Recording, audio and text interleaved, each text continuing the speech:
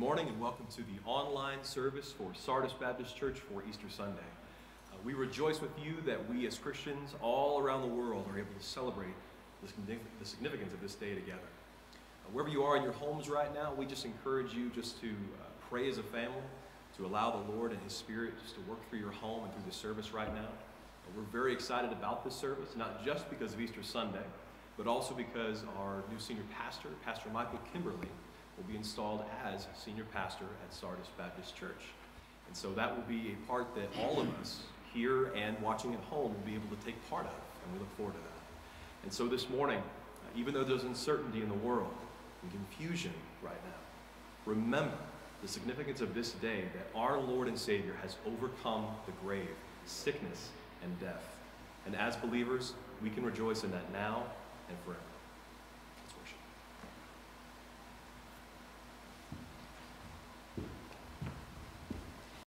Wherever you are this morning, I welcome you and I would like to invite you to sing along with us as we sing Christ Arose.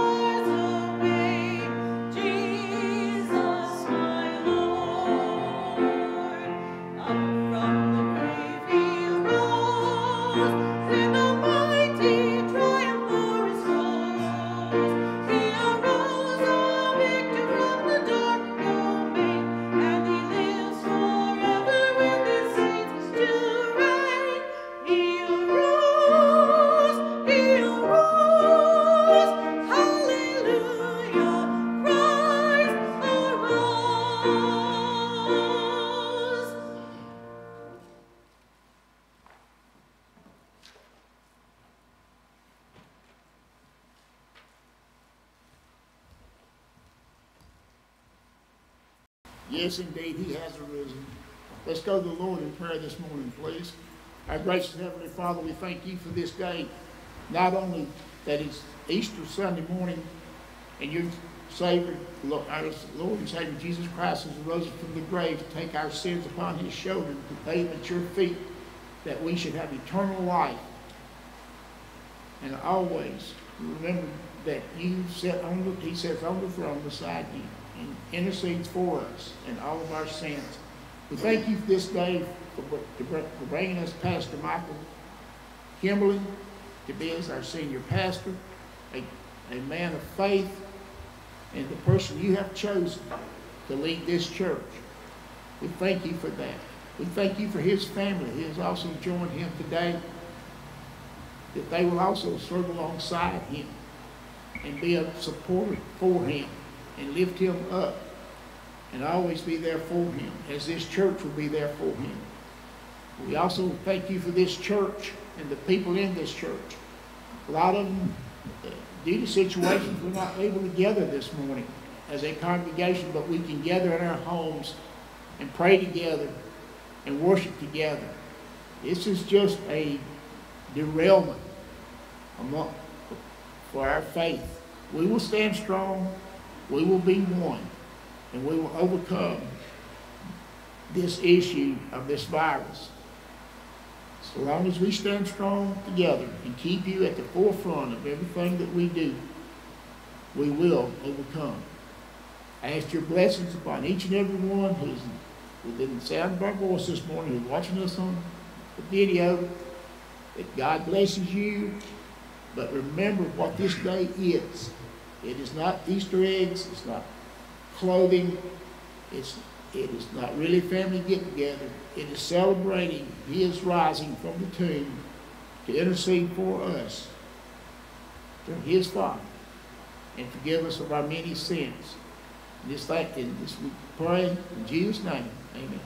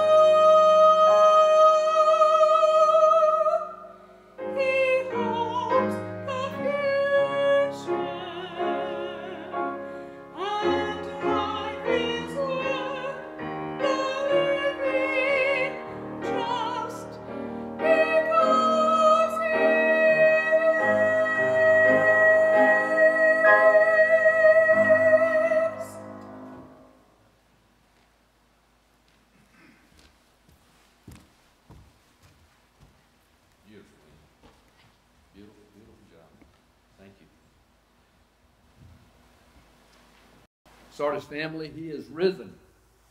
He is risen he is risen indeed.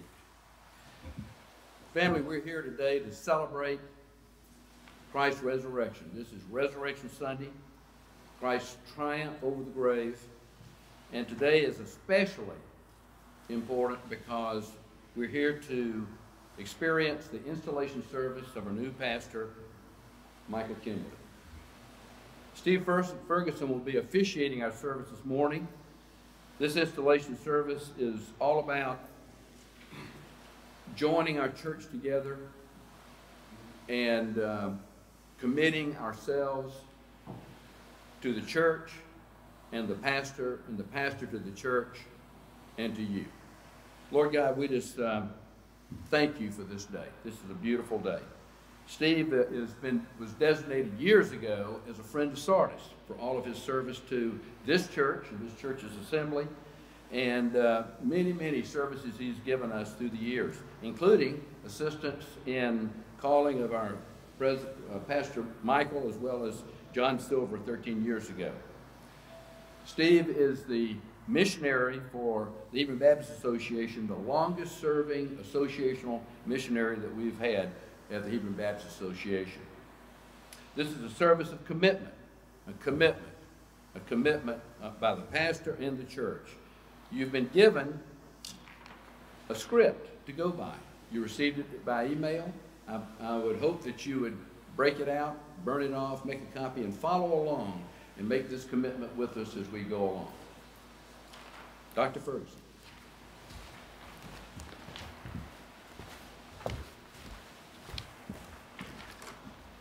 Thank you, Snip. It is good to be here uh, on this occasion and to be able to share in it with you. And we are grateful to God uh, for his call upon Michael Kimberly's life and uh, for how he placed him here for such a time as this.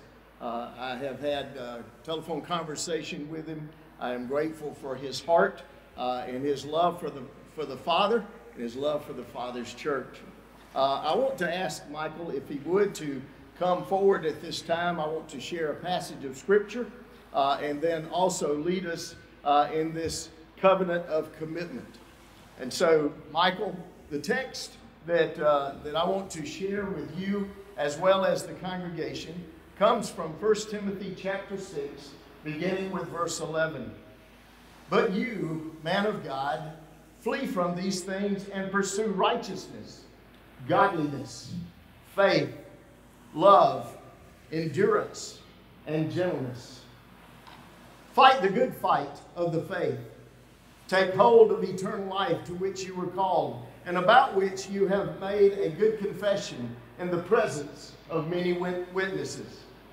In the presence of God, who gives life to all, and of Christ Jesus, who gave a good confession before Pontius Pilate, I charge you to keep this command without fault or failure until the appearing of our Lord Jesus Christ. God will bring this about in His own time. He is the blessed and only sovereign, the King of kings and the Lord of lords, who alone is immortal and who lives in unapproachable light, whom no one has seen or can see. To him be honor and eternal power. Amen. Instruct those who are rich in the present age not to be arrogant or to set their hope on the uncertainty of wealth, but on God, who richly provides us with all things to enjoy. Instruct them to do what is good, to be rich in good works, to be generous and willing to share, storing up treasure for themselves as a good foundation for the coming age, so that they may take hold of what is truly life. Guard what has been entrusted to you avoiding irreverent and empty speech and contradictions from what is falsely called knowledge. By professing it, some people have departed from the faith. Grace be with you all. And Now we come to the time of uh, the sharing of this commitment and this covenant with each other. And so, Michael, to you first, I want to share, having been led to excuse me, having been called to be the pastor of this church, do you take this people to be your people? This field of labor to be your field without reservation of mind or heart? I do. Do you promise to give yourself faithfully to the ministry, to the word, and to prayer, to be a good shepherd of this flock of God, to minister to the needs of all alike, to be the friend of all who will permit you, to seek the salvation of souls and nurture of the saved, to put the services of Christ and his kingdom above all else? If wronged, to forgive as you expect to be forgiven to seek always to keep yourself mentally alert- and physically fit, as much as in you lies, to be at peace with all people, and to lead this church in the ways of Christ as the Holy Spirit gives you wisdom and strength. I do. And now to the congregation. Do you promise to hear attentively to the preaching of the word, to participate reverently in the services of worship, to share with this pastor in the responsibilities of teaching and learning, to assume your proportionate part of the church's benevolent ministries, to receive him into your hearts and homes, to counsel with him about the welfare of the church and the winning of souls, to encourage him in his stand for right, to forgive him when he makes mistakes, and to follow his leadership as he follows Christ? We do. Let us together reaffirm our high resolution and devotion to preaching the good tidings of salvation. We consecrate our gifts. To teaching Jesus' way of life. We consecrate our time. To leading children and youth to the knowledge of the love of Christ. We consecrate our house. To healing broken bodies and soothing troubled minds. We consecrate our service. To caring for the helpless and providing relief for all those who look to us for help. We consecrate our strength. To evangelizing the community and extending the kingdom of God worldwide. We consecrate our wealth, our efforts, and our lives. At this time, I would like to ask Tanya and Madeline to come and join Michael up here, as well as Snip White, who represents the search team, and uh, Johnny, as he will come, and uh, Johnny Brannon, as he will come and represent the deacons. As we want to have this time as a, a time of consecration, let us go to the Lord in prayer. Almighty God and Heavenly Father, what a great and wonderful creator you are. For in your wisdom, you knew exactly what we needed. And dear Father, you watch over us, you care for us. We thank you that you are the King of kings and Lord of lords, and, and we worship you and we glorify your name. And dear Heavenly Father, we thank you that you have brought us together on this special day. A special day because it's Resurrection Sunday, a day of celebration for us as we're grateful to you for the overcoming of sin of Jesus and that He provides that for us. Dear Heavenly Father, we come together also for the installation of this pastor. And we thank you for the words that we have heard from him. And we thank you for the words that we have heard from the congregation. A time of commitment of each, of commitment to you and to your church and the building up of your kingdom. Dear Father, we pray for this new pastor. Father, we pray that you would give him wisdom, that you would provide for him the direction and the vision that you would have this congregation to go. And Father, we pray for, for this congregation and their surrender and their commitment to you to be the church that you desire. Because, Father, you haven't called us to do church, you've called us to be the church. And we thank you, Heavenly Father, for this time together and for the words that we've shared that have proceeded out of our mouth but from our hearts.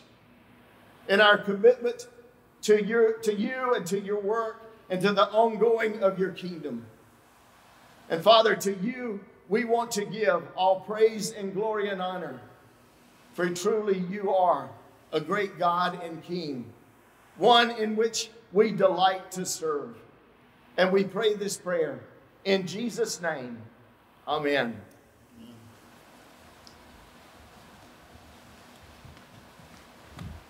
You know, it's a sad day that we can't all gather around and hug shake hands.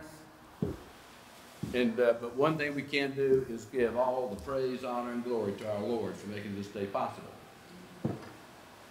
God is good, and God has been here for us. God has made all of this possible. And I want to thank the, the, the uh, congregation for their continuing stewardship and generosity during this time when we're locked out of our church and we can't uh, participate together. You've, you've stepped up and continued giving, and I want to thank you for that because it's important. Continue giving, either electronically or on the ma- by mail. Send it into the church because the church continues to need your support. Let's all now bow for a word in prayer. Father God, as I just said, we're so thankful, so very, very thankful for all that you've done for us. And we do commit ourselves to you. We commit ourselves and consecrate our time to you. We commit ourselves and consecrate our talents, giving those to you. We consecrate our service and support to you in all that we do here in this church. We consecrate our strength to you. All these ways we're trying to give back because we can never get ahead because of all the goodness that you've given to us. Your works are mighty, your works are powerful, and your works are visible just in seeing how things have come together this week in service of your church. We consecrate today also our wealth, our efforts, and our lives. And we ask that you bless the gifts and bless the givers as we consecrate all of those things to your kingdom, Lord. For it's in Christ's name we pray. Amen.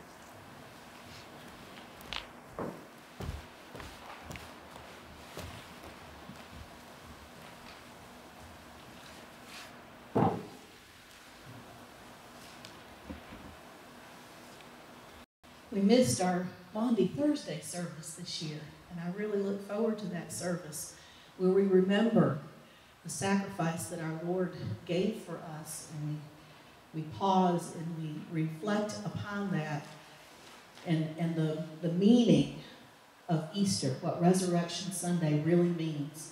Three days ago, in the history of the church, it looked very, very dark.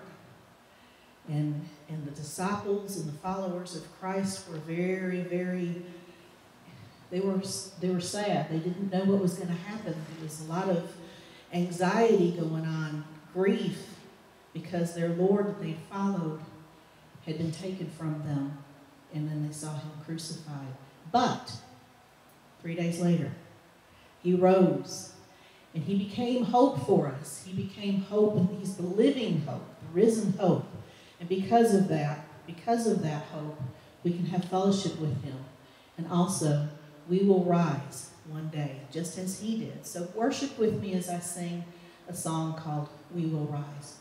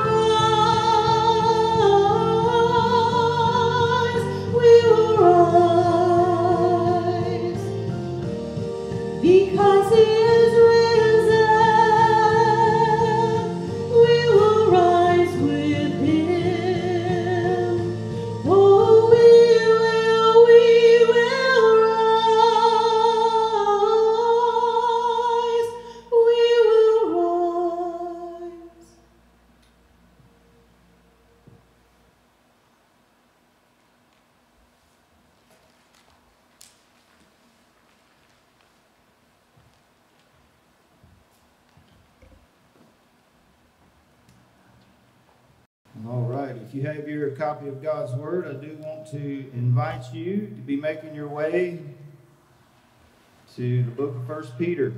First Peter chapter 1, we're going to look at verses 3 through 3 through 9 with a focus on uh, on verse 3. And uh, while you are turning there, I do want to say again uh, just how grateful I am and how grateful I am and my family and I are for the uh, just uh, this entire path that we've been on. Uh, and today, uh, culminating in today, and I, I cannot think of a better day for it to have happened as we come and we celebrate uh, the, our risen Lord. And uh, I know today is a special day, and we put a great emphasis on Easter, and we celebrate the Lord rising from the dead on Easter, but I got a news flash. Next week we're going to come together and do it again. And the week after that, and the week after that. Every Sunday is Easter Sunday, uh, or should be.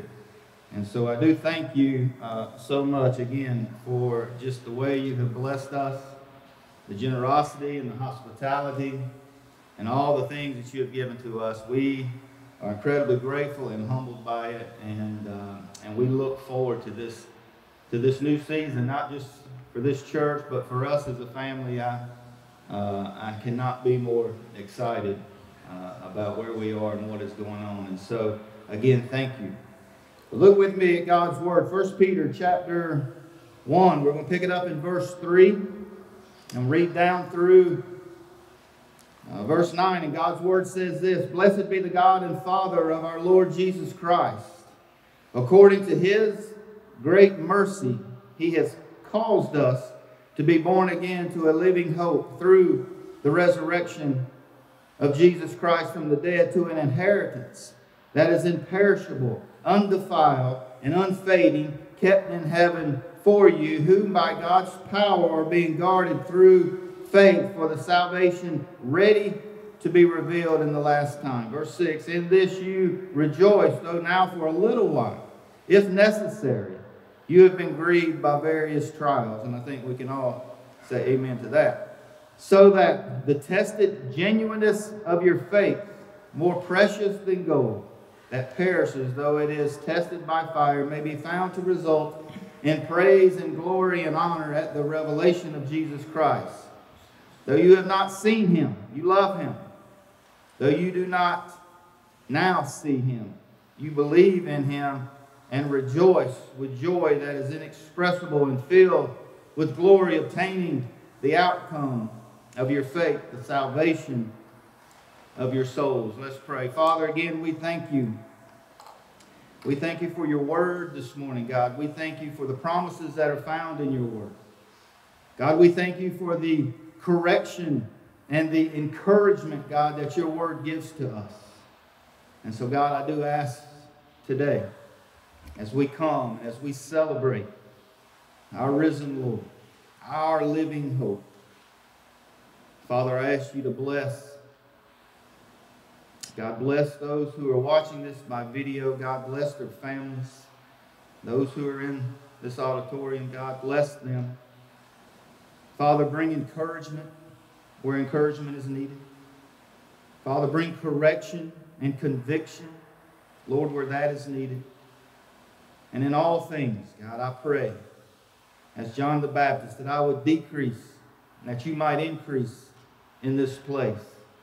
Father, hide me behind the cross that all we see is Christ and we make much of him, for he is the reason why we're here. We love you and we thank you for loving us. In Christ's name we pray. Amen. You know, I don't think I have to tell anyone that uh, we're living in some strange and unprecedented times. The fact that uh, you're watching this by video and not in uh, this building on Easter Sunday is a testament to how strange the times are. And uh, you know, our world, as has already been mentioned, is gripped in fear, anxiety, and concern over this virus that has come upon us, over the effects that this virus is having, not only uh, on people physically, but also economically and in other ways socially where we cannot come together. Uh, so people are, are gripped with fear and concern over the effects of this virus, and this fear and this concern is not unique to us in this culture and in this country. It is clear across uh, the globe. And so we really live in some unprecedented times. And if you watch the news, like I do, probably too much of it, you will find the nightly news reports of the devastating effects that this virus is having on people. Night after night, you see the numbers of the infected going up. And sadly, night after night, you see the numbers of people who have succumbed to this virus going up as well. And they try to tell us that maybe we've reached a plateau or maybe we haven't. They really don't know, but what we do know is that this virus is going to be around for the foreseeable future. And so you may be asking yourself this morning, well, Michael, that's great. We all know that, but what in the world does that have to do with Easter? Well, I would submit to you it has everything to do with Easter. Everything. As I've watched the television and as I have been following uh, these events on uh, social media, I am struck by the reality that so many are so fearful and so many are sadly, they seem to be so incredibly hopeless as this virus is running its course. This, this virus has caused uh, great damage, no doubt. But it's also caused a lot of clarity, I think, as well, in the lives of people. I think I've said it here before. If I haven't, I'll say it now.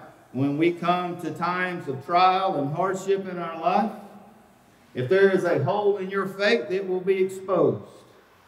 When we come to hardships and trials in our life, if you have a small God theology, I promise you it will be exposed. It will show times of hardship, times of trial, times of uncertainty have a way of putting on display what we actually believe. And it puts on display very well what we actually hope in and where our hope actually lies. You see, this is true for us in, uh, in this church and in this culture, but it was also true for those to whom Peter had penned this letter to.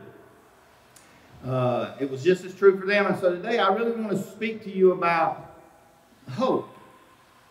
As we come to this uh, Resurrection Sunday, I think hope uh, is a good topic, uh, especially in the context of everything that is going on in our world. And so I want to speak to you about hope, but not just any hope, our living hope. I'll give you a little context uh, to this letter for Peter to help you uh, understand what's going on. The Apostle Peter here is writing this letter to a group of believers, to some believers that are going through some very difficult times. Now, the trials they are experiencing are certainly different than the ones we are experiencing. They are coming up against trials and heartaches and suffering primarily due because of their faith. Ours is a little different, but trials nonetheless. And they are they are suffering some very difficult times, and Peter wants to show these believers how to live out their salvation, even in the midst of difficult circumstances. In spite of the difficult circumstances, how to be faithful and how to live out their life in the midst of them. This epistle, I believe, hits many of us right where we live today. Because here's a news flash for you in case you didn't know life is hard. Life is difficult. It is dangerous to live in this world. We just know that to be a fact from experience and what we see going on in this world. This is a violent world we live in in so many ways. And it is hard. And I'm not sure there could be a better time in our lives to be reminded of this truth that life is tough. Suffering and trials are part of living in this world. And that shouldn't surprise us. Why? Because Jesus himself told us that this would happen. He says we were going to suffer trials and heartache. We know Jesus told us that, and we experience that in our life. And so the fact that suffering and trials are part of this life should not surprise us because Jesus promised us that it would happen.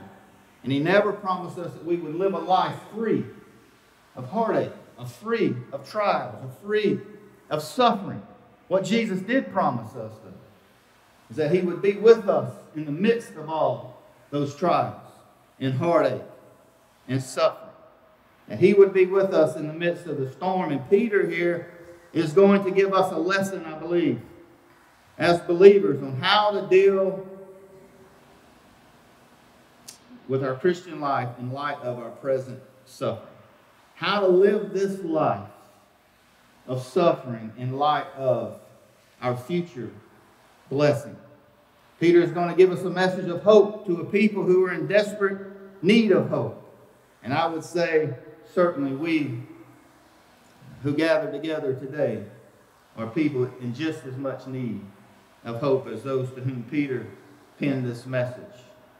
And if there were ever anyone who understood the importance of having hope, I can promise you it was the Apostle Peter. He was a man who needed hope. He was a man who understood the importance of having hope. If you think back to the events surrounding the arrest and crucifixion of Jesus, and then Peter's response to all of it, you can see how hopelessness can begin to manifest itself in the life of a person. Between the denial of Jesus by Peter and the death of Jesus on the cross, Peter found himself in a state of utter hopelessness and fear. He didn't know what he was going to do. He denied his Lord. And then he saw his Lord crucified. And he entered into a state of utter hopelessness and fear. So the question really we have to ask is where was Peter to go to find hope again? Where are the readers to whom he penned this letter? Where are they to go to find hope in the midst of their trouble? And where are we to go?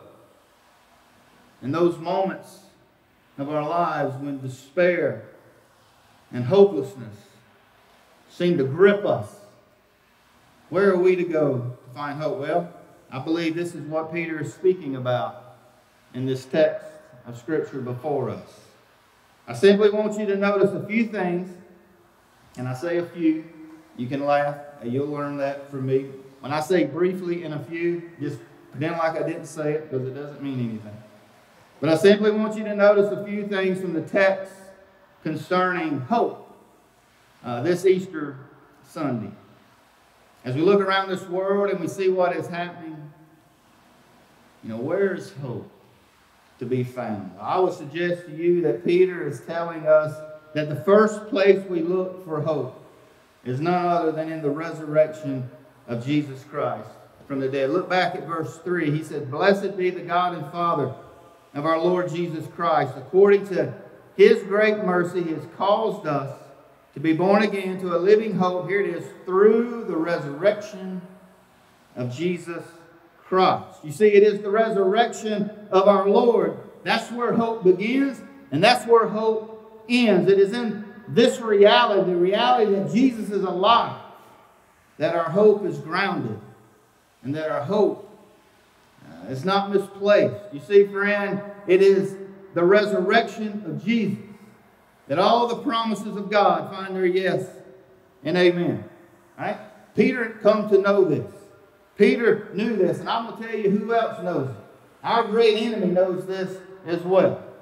He knows that that's where it all begins. Listen, our great enemy knows this, and he does all he can to try to hide this truth or distort it in any way that he can. It is not by accident that those who try to discredit the church, those who try to discredit the Bible, and those who try to discredit Christianity as a whole, it is not, not by accident that they will attack primarily two places the infallibility, the inspiration, the inerrancy, and the sufficiency of the Word of God and the authority of the Word of God. They'll attack that, but then they'll also come to attacking the reality and the validity of the bodily resurrection of our Lord and Savior, Jesus Christ.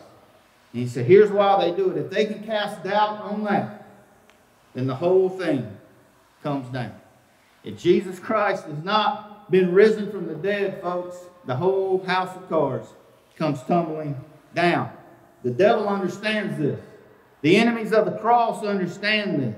The Apostle Paul understood this very well when he said as much in 1 Corinthians chapter 15, verses 17 through 19. He said this, and if Christ has not been raised, your faith is futile, and you are still in your sins. Then those who have fallen asleep in Christ have perished. If in Christ we have hope in this life only, we are of all people most to be pitied. If Jesus Christ has not been has not raised from the dead, we of all people are to be most pitied. You see, if Jesus Christ is not raised from the dead, then you are wasting your time watching this video this morning. You might as well just turn it off, go get your bass boat, and give me a call, and let's go fishing. Because we're wasting our time. If Christ has not been raised, and I promise you, I'm wasting my time up here talking to you this morning. If Christ was not resurrected, then you have absolutely no reason to hope. in the events of this world and what is going on in this world should cause you great concern. Why? Because this is all you have to look forward to. It said, you know, it amazed me when I saw people, when all this first started happening, and all these people were started hoarding all this food and all this stuff. And they're running to grocery stores and they're running to these places and they're hoarding all this stuff. And you got to ask yourself, why? Well, I'll tell you why. Because this is as good as it gets for a lot of them. This is all they have. And they want to get as much of it as they can. And Jesus Christ has not been resurrected. And we have no hope.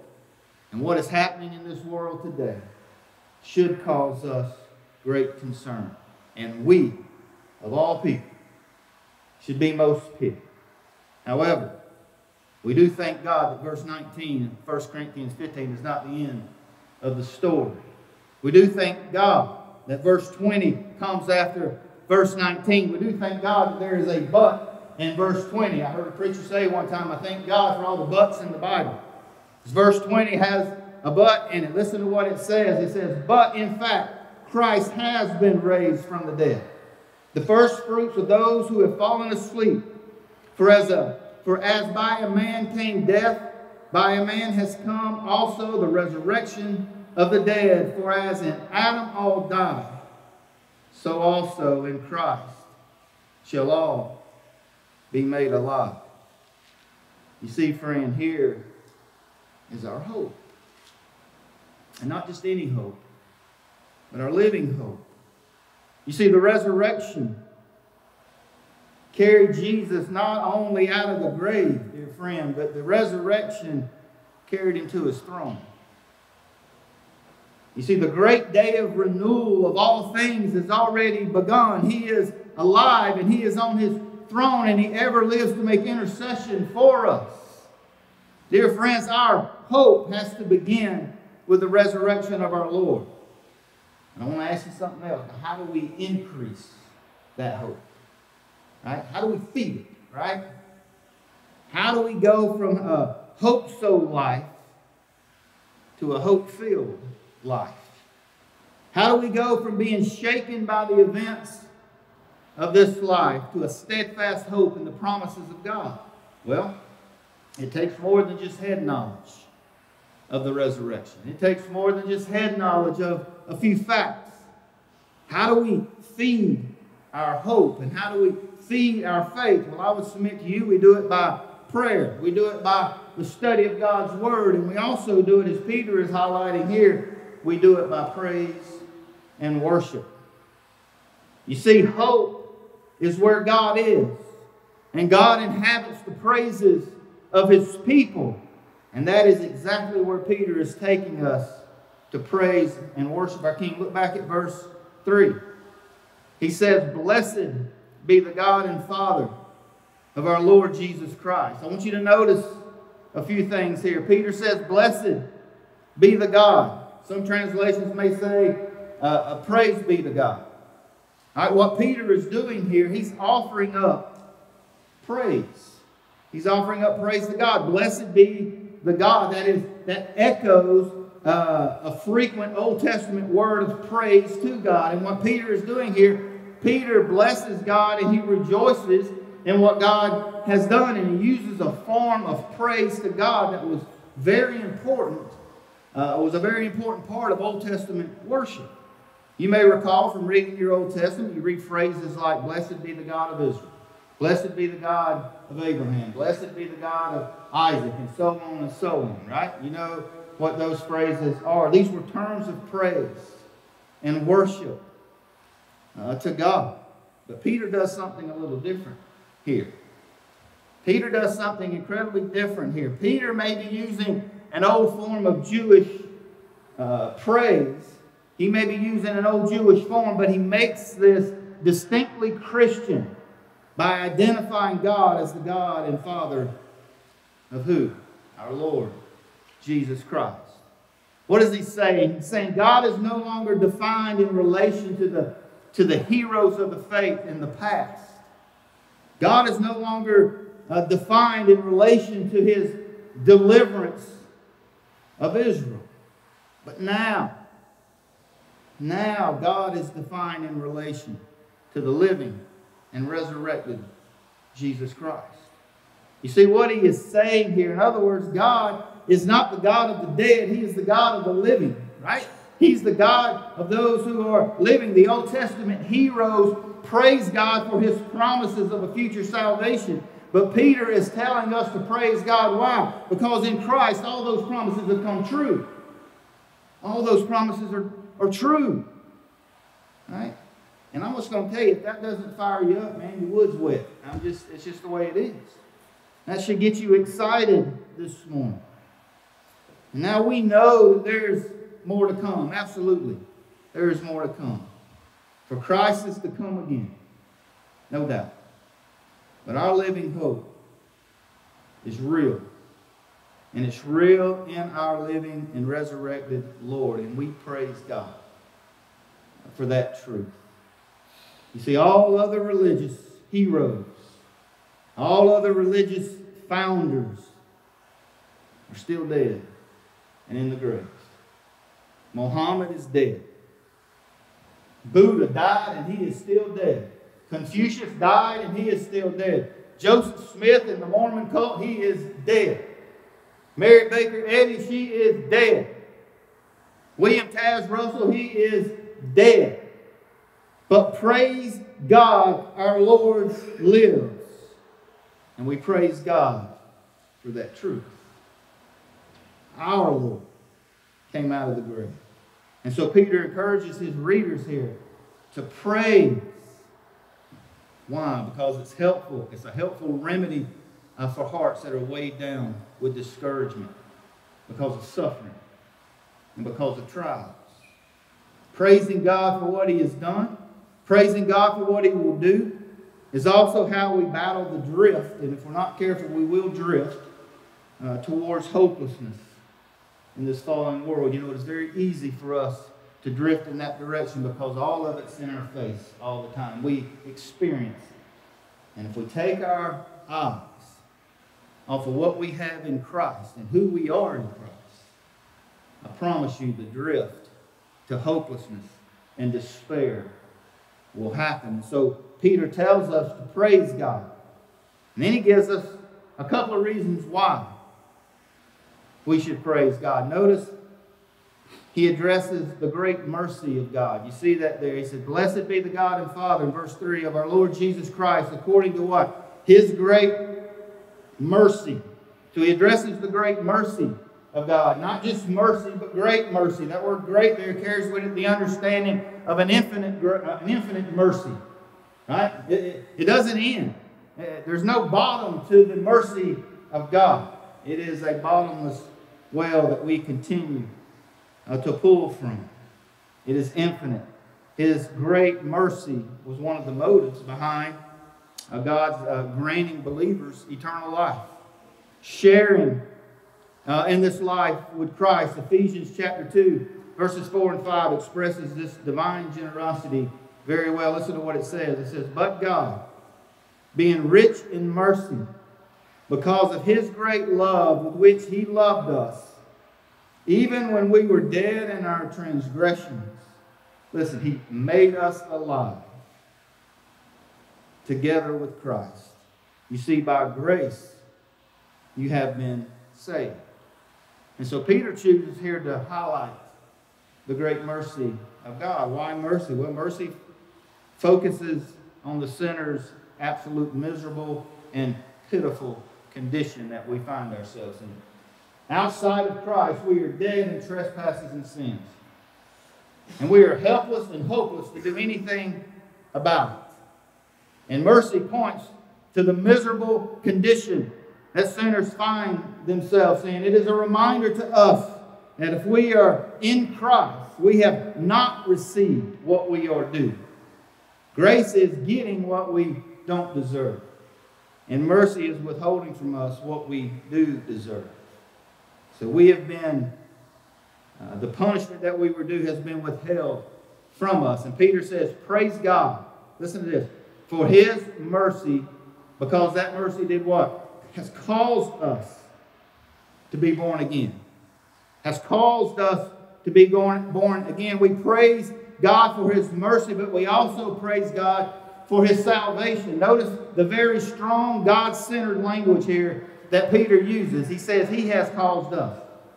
It's just like what Paul said in Ephesians He has made us alive. Peter says, Well, God has caused us to be born again. That phrase right there, He has caused us, that phrase should shut the mouth of every person who believes they can earn salvation by good works or by something they can do. You see, sinful men are helpless and hopeless outside of the grace and mercy of God. Scripture says that God is the cause of all who are born from above by the Spirit of God. You see, we need to praise God that one day, if you're in Christ, you need to praise God that one day He looked upon your helpless and hopeless state. He chose to extend to you great mercy and great grace. And He opened your eyes to your sin and He changed your heart. And He gave you faith to believe and He extended to you the gift of repentance that you might be saved. And I love how 2 Timothy chapter 2, verses 25 and 26 puts it, but I'm going to paraphrase it and I'm going to make it a little personal for you. Listen at this. It says, That God granted you repentance, leading to a knowledge of the truth, and you came to your senses and escape from the snare of the devil after being captured by him to do his will. You need to thank God that he opened your eyes to the reality of your sin and your need for a Savior. God did that. Listen to me, friends. Christ's resurrection spells hope for us, not just because Jesus lives, but because by God's great mercy, those of us who are in Christ, we live as well. The very phrase there when it says he caused us to be born again, the very phrase born again, that is a that's a resurrection term. Right? Being born is to be alive. You, know, you were born alive physically into this world, but spiritually dead. Now you have been born again to a new life. Spiritually, you have been resurrected, as it were, to a new life individually, but it gets better. You see, the reality of being born again individually carries with it this understanding that one day, this crazy world in which we live is going to be made new as well. The whole entire cosmos is going to be made new one day. This current world, with all of its problems, all of its viruses, all of the hang ups that this world has, one day is going to be made completely new, just like you have been if you're in Christ. And just like you will be one day when we're glorified, if you know Christ. And so, we praise God because Jesus is alive. We praise God because of his great mercy, and we praise God because of his great salvation. And so I want to end here real quick. There it goes real quick. I want to end here by showing you where this hope that we have uh, should point us. Where should this hope direct us? Where should this hope focus our attention? First, we are pointed to not just hope. Like I've said, we are pointed to a living hope. We are pointed to a living hope. You see, friends, our hope is not a dead and empty hope. It is not a dead hope and a false hope like many in this world have. Why? Because our hope is not in a principle. Our hope is not in a concept. Our hope is not in some, uh, you know, political party or some political ideology.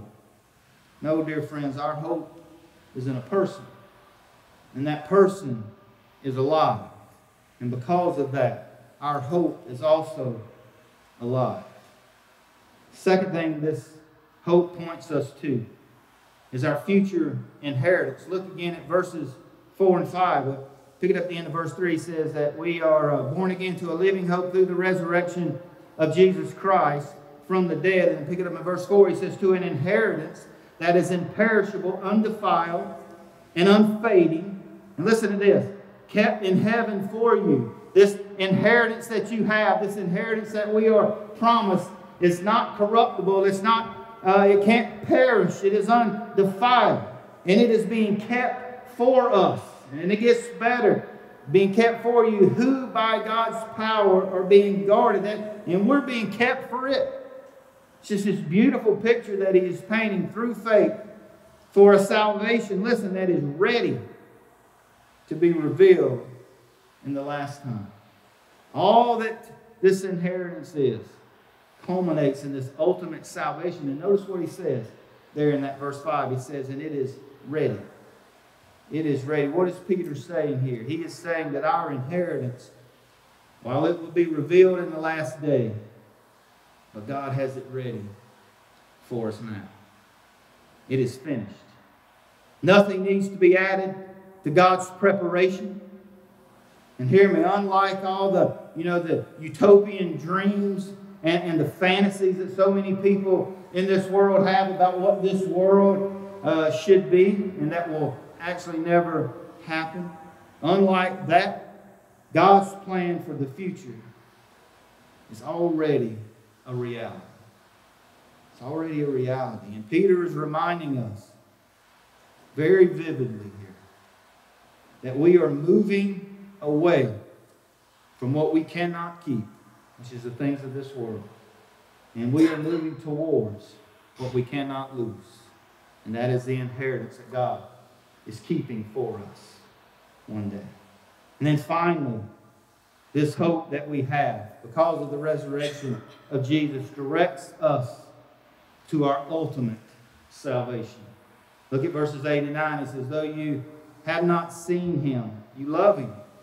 Though you do not see him now, you believe in him and rejoice with joy that is inexpressible and filled with glory, obtaining, here it is, the outcome of your faith, the salvation of your souls.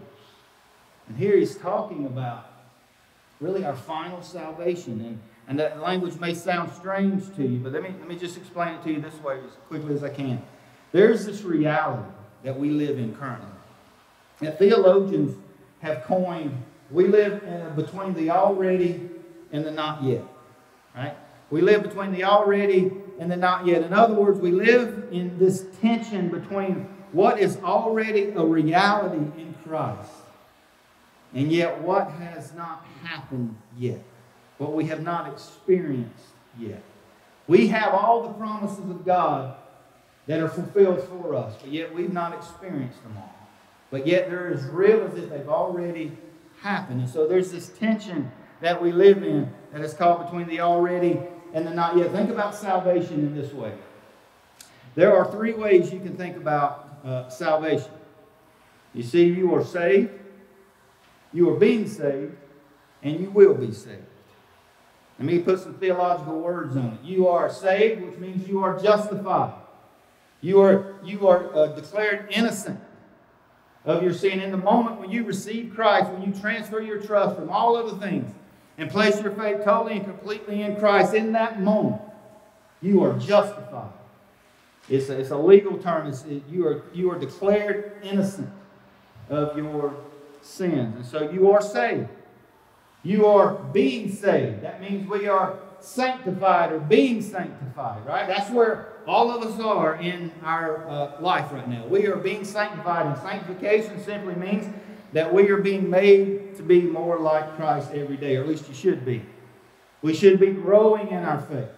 We should be growing in our understanding of the Word. We should be growing in our understanding of Christ. We are being sanctified to be more like Jesus. And so we are being saved.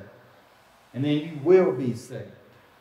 You are going to ultimately be glorified one day when we're in heaven. Now, nobody's there yet. I know there's some people who think they are, but nobody's glorified yet. Okay? That is our final salvation. So we're justified, sanctified, and glorified. And such is the faith and hope of those of us who know and believe in Christ. You see, the salvation of our souls in the last day really is the goal of our faith. It is to be with Jesus, glorified with Christ in heaven. That is the ultimate goal, isn't it? It's not to have things on this earth.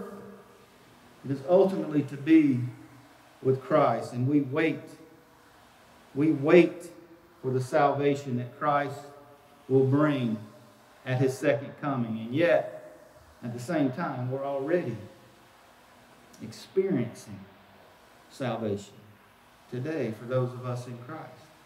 Again, it's somewhat of a, of a paradox, but it is the hope that we have that the New Testament gives us. And because Jesus has already come in the flesh, the kingdom of God has already come. And so our hope, in that sense, is realized. Why? Because we know Christ. Or more importantly, Christ knows us. However, because Jesus is coming again, the kingdom of God is yet to come in all of its fullness. And so, in that respect, our faith is always looking ahead. It's always pointed uh, to the future. You see, Scripture teaches that there is this sense in which Christians live in a future uh, that is already present, kept for us by our risen Lord. And friend, that is a glorious, glorious thought. And I will tell you this that is the promise and the hope of Easter. We have a hope in our risen Lord. And that is why we can travel through this life with all of its trials, with all of its viruses, with all of its headaches, and we can never lose our hope. Why? Because it is grounded in the reality of our risen and victorious Savior. Amen? All right, you bow your heads and close your eyes. I want to pray. I want to make an appeal this morning. Someone who may be watching who's never transferred their trust from all other things and placed their trust totally and completely in Jesus. The greatest hope that you have is the reality that God will forgive. If you will humble yourself and you repent of your sins and you will cry out to God for forgiveness. Not making any excuses for what you've done, just humbly asking God to forgive you and to extend that great mercy to you this morning. If that is you this morning, I would encourage you right now where you are just to get on your knees before God and cry out to God in faith and in repentance. And we have the hope and the belief that God will forgive. Whoever shall call upon the name of the Lord shall be saved. If that's you this morning, I would encourage you to do that. And while there's not a way for you to physically come forward so we can talk to you, I would encourage you to reach out to us uh, sometime this week. Myself or Pastor Rich would be happy to talk with you and to, to get with you and to talk with you about your decision. Those of you who are here or watching, who may get a little uptight and a little anxious about the things going on in this world, I would encourage you, dear friend, just to get on your knees, to pray, and to worship God. Feed your hope, the hope that you know you have in Christ. And Father, we do thank you. We thank you for your love, God, for us. We thank you for the grace that you extend to us. God, I pray for that one or, or, or two who may be out there listening, Father, who have never received Christ. Father, I pray that today is the day of their salvation, Lord, that you would do whatever you have to do, Lord, to remove the scales from their eyes, to give them faith to believe, Father, and to draw them eternally to your side. And Father, for those who are in Christ, God, I pray you would encourage them today.